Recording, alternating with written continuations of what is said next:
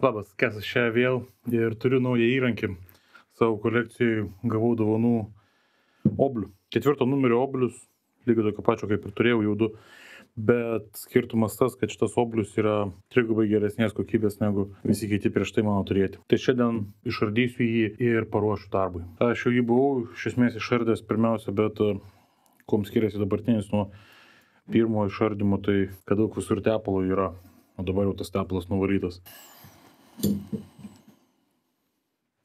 Taigi, ašmuo yra 3 mm storio, tai daug storesnis negu e, tas, kurį turėjau anksčiau ir visose kitose tipuose oblių. E, taip pat oblius yra na, Stanley gal jau to tipo, bet e, įtvirtinimas peilio yra kitoks ir jisai vadinamas jau bedrock tipo.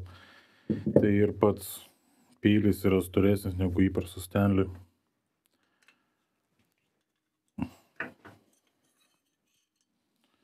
Ir va štai taip va reikėtų išardyti. Peilį, kad nepažeistume aštraus kampo. Dabar kodėl šitas būtent oblius yra vadinamas bedrock tipo, tai ja, čia yra trys, trys varšteliai viduje. Vienas, antras ir ten viduje iš kitos pusės yra trečias. Tie varštai reguliuoja įstatymą. Jeigu aš atsuksiu juos, tai matome varštelius tvirtinimui štai va tokius va. Ir va jau tas pats pagrindas, kur mes atsiriamėm į patį obliaus kūną, a, yra daug platesnis ir didesnis.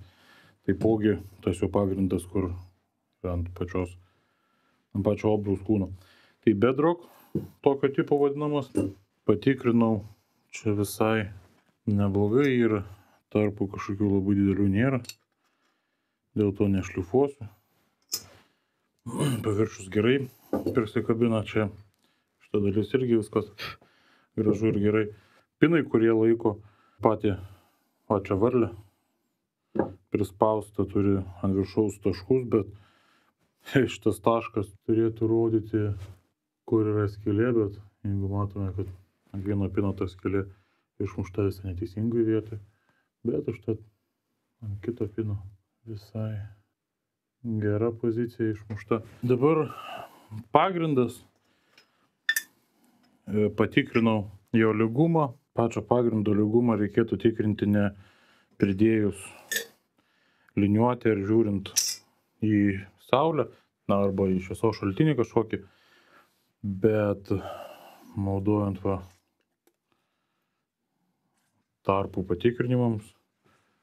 Štai jo tokį va įrankį nežinau tiksliai kaip jis lietuviškai vadinasi, bet ant jo yra juostelė su skirtingų storių. Tai nulis kablelis 0,4 mm storio niekur neįlenda, o svarbiausios vietos su oblium yra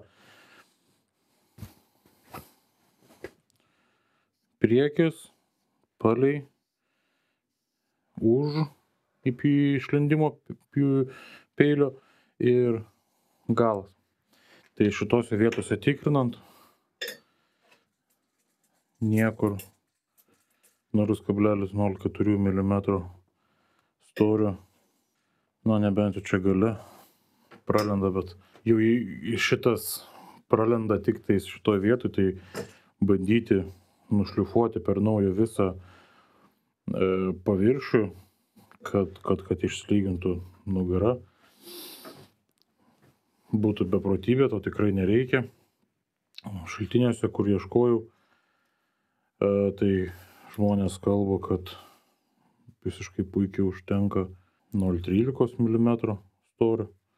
Na ten sakoma coliais, tai 0,005 colio. Jeigu nepralenda niekur, niekur nematau, kad pralystų. Tai jeigu vienoje vietoje 0,004 mm pralenda, tai aš nemanau, kad tai reikia tikslo man bandyti ją visiškai prie tobulo lygumo privesti. Tuo labiau tobulas lygumas yra kvaila bandyti jį pasiekti. Vienas dalykas, ką padarysiu, tai šitie vat kampai, jie iš fabriko yra šiek tiek aštrus, tai šiek tiek sudildė.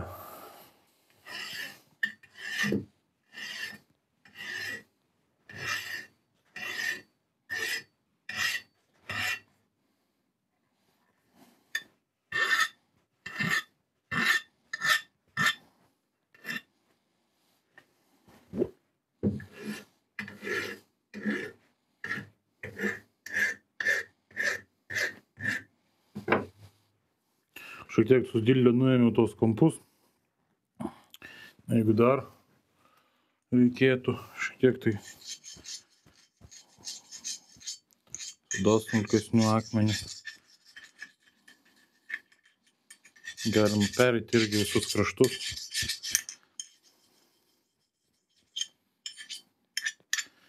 Ir tiesiog tai daroma tam, kad o beobliuojant jeigu pakryptų oblius kaip nors kampu šonu ir tas aštrus kampas kad tiesiog neišspaustų jokios žymės ant uh, medienos kad, kad, kad nepaliktų tos žymės.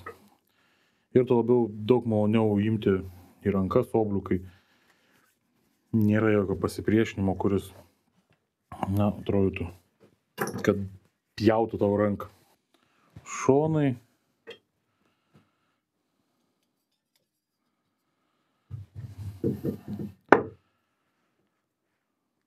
Taipogi statmeny yra problemų jokių nejaučiu su jais, jeigu tikrinant.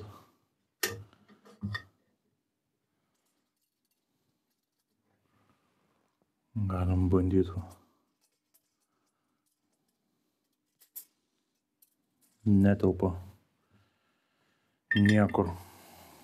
0,04 mm. Na, va nebent čia. Bet netgi jeigu aš ir naudosiu ant shooting boardo šitokį oblių, dėsiu ant šitos pusės, tai dabar dėl kelių milimetrų šitoj dalyje visą šoną šitą bandyti nušlifuoti. Tai čia Nematau visiškai jokio tikslo. Čia vat vėl tik šitoj vadalyje šiek tiek pralenda. Bet tikslo tam nėra, dėl to taip ir nedarysiu. Dabar pati burna gražiai yra statmena. Čia nieko daryti nereikia. Viršutinė dalis gal šiek tiek šitas kampas. Ne, šitas kampas yra mažesnis. Jo, šitas kraštas yra saugus dildės, jį dėsiu į šoną ir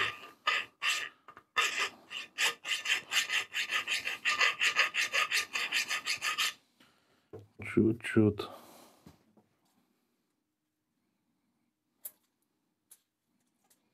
Čia gal prigaudo, čia dar laisva.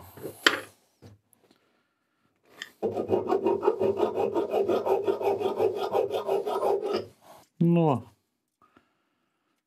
čia tarpas yra, bet čia kitų milimetrų dalių, milimetrų nebegaudysiu, šiek tiek palyginau, kad būtų švelnesnis tas užėjimas. Nu, va šitą kraštą šiek tiek irgi, kad nebūtų toksai aštrus, kad ne, nezulintų ir nedarytų įbrėžimų pačią medį. Šiek tiek gal užapvalinsiu.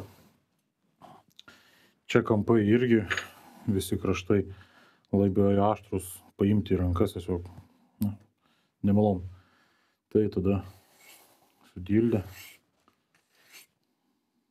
porą pravažiavimų ir jau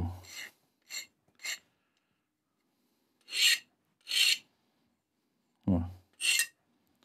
Daug maloniau į ranką imti.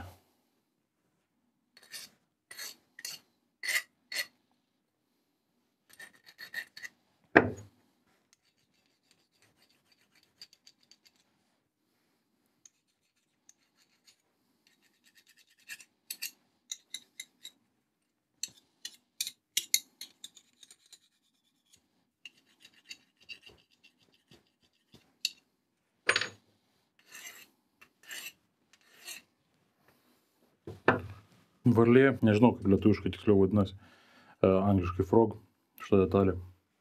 Tai varlė kaip ir apdirbta, kraštai nepjauna, pats kūnas irgi apdirbtas. Rankinos, na tas lakas, kuris panaudotas, nelabai malonus rankai, galbūt. Bet aš kol kas nekeisiu. Jeigu nebent atsilups visas, tai aš tada nusišlifuosiu. Bet kol kas palieku tokį, kokius yra. Dabar ašmuo, įprastas ketvirto numerio oblius turi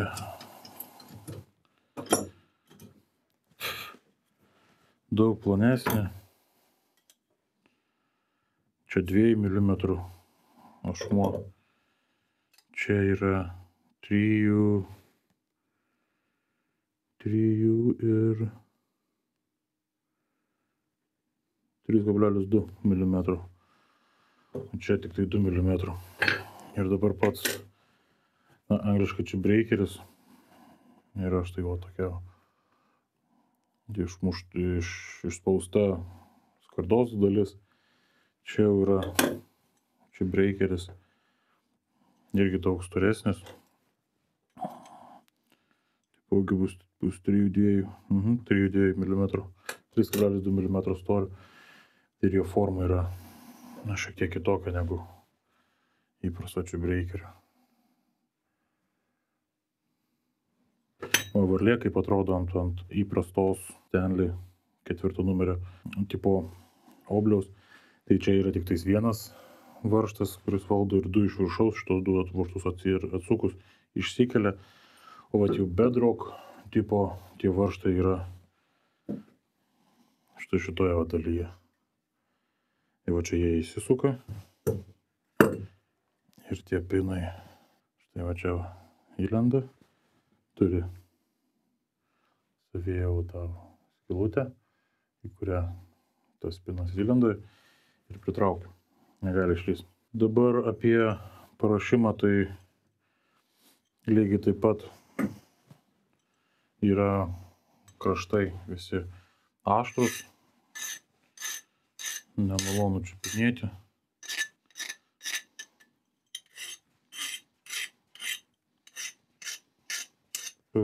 Pjaunama dalimi liečiasi tik va šita va dalis, tai aš to dalies neliečiu.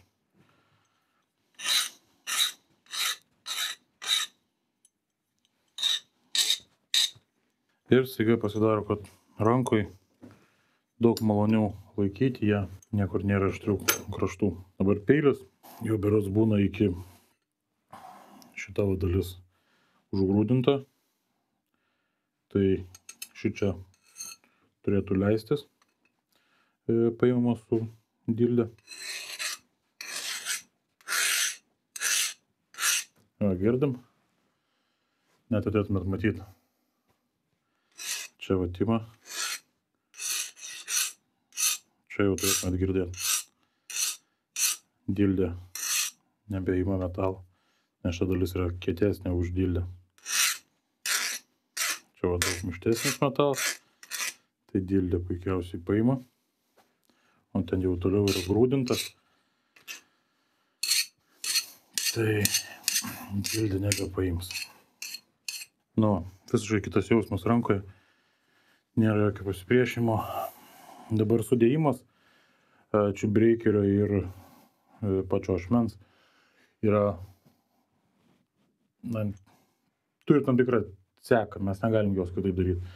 Negalim taip dėti ir tada traukti, nes sugadinsime aštų kompą. Įstatome varžtą į skylę, patraukiame žemyn ir kai patraukiame žemyn turim apsukti kad mūsų čia breikeris jau būtų į priekį atsuktas. Ir dabar prislenkame, kiek jau mes norim prie krašto. Ir tvirtinam, prisukam. Labai dažnai būna, kad štai va šitą detalę, kuri prispaudžia, leidžia mums įtvirtinti, bet tuktuvas tiek gerai turi. Nežinau, kiek, kiekvienas turi savo nuomonę, kiek daug jau ašmo turi būti išlindęs prieki. Aš net nesakysiu skaičius, kiekvienas. Kiekvienas savo susigalvosite, nes jeigu pasakysiu, tai gali būti čia prasidėti didžiulios problemos. Įsistatau frogą, varlę, pasižiūriu, kad tos kilutės būtų atsuktos jau ten ir prisuku varštus. Trečiasis varžtas, kuris yra per vidurį, jisai reguliuoja, kiek daug pasislenka e, pati varlė į priekį. Ir tas varlės prisislenkimas į priekį reguliuoja, koks tarpelis yra tarp ašmens ir pačio, pačios, pačio obliaus kūnų. Tai jisai turėtų būti valdomas pagal jūsų norus, kiek na, jums reikia. Aš šį kartą nusistačiau ganėtinai nedaug, Taip ir dabar, žiūrint, žiūrint, va taip laikant oblių, reikėtų į save žiūrėti. Ir sukant aš tai šitą vat varžtą, žiūrėti, ar ar ar ašmuo yra lygiai gretus paviršiui.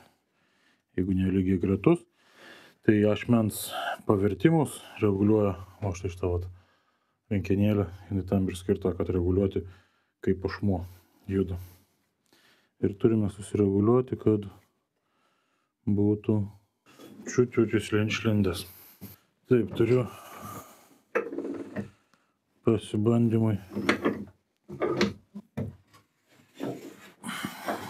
Jeigu vienam šone nieko neobliuoja, o kitam šone pagrebė kažką, vadinasi, aš peilis nelygus ir reikia lenkti rankiną į tą pusę, kurią, kurioje pagauna kažką.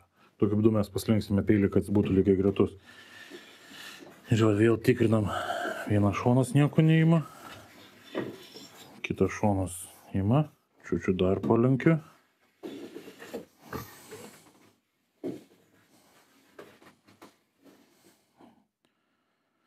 Dar. Nu, abi dalis nieko neima, vadinasi, lygiai gretų turėtų būti. Ir sukant šitą varžtą.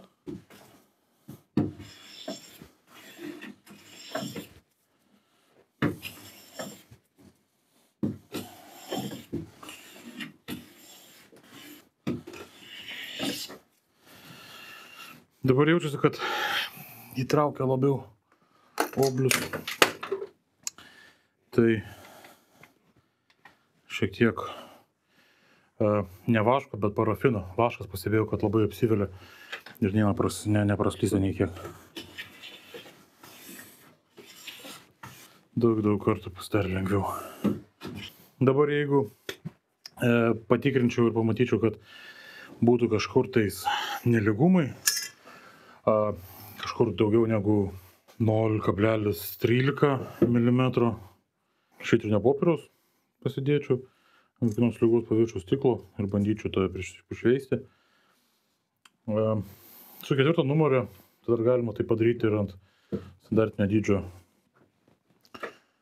galandinimo paviršiaus, kažkokiu tai akmenų, jeigu akmenės yra lygus deimantiniai. Tokiu atveju galima šlifuojant, tikrinantis dažnai gauti statmenų paviršių. Bet nebūtina šitos statmenus paviršius jau labai. Bet lygus, kaip ir rodžiau, čia prieš e, peilį, už peilio ir pačiam priekyje turėtų būti lygus, visur kitur galėtų būti dubimai, netgi ta mažesnis pasipriešinimas būtų. peilį galandau su laikikliu to pačiu, kur mm, turiu, tai 25 laipsnių pirminis, tas antrinis kampas ir pirminis jau, kuris pjauna, yra 30 laipsnių. Tai va, jeigu nori išgauti jau tokias vat, drožlės, turėtum apsidirbti savo kiekvieną oblių, kad to būtų malonus rankai. Ir nepjautų tavęs, kai tu jo naudojasi.